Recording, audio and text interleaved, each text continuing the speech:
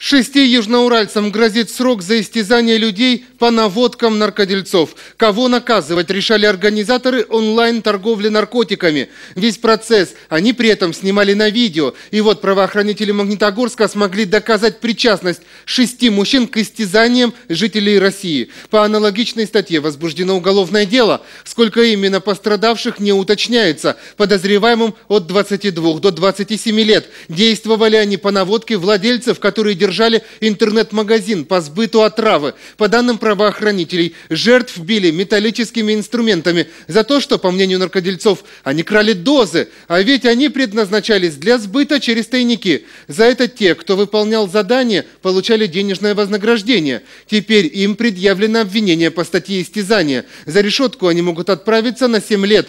Двое мужчин заключены под стражу, остальные под подпиской о невыезде. Что касается интернет-магазина, по факту его деятельности деятельности возбуждено уголовное дело, начаты следственные действия по установлению личностей продавцов запрещенных веществ.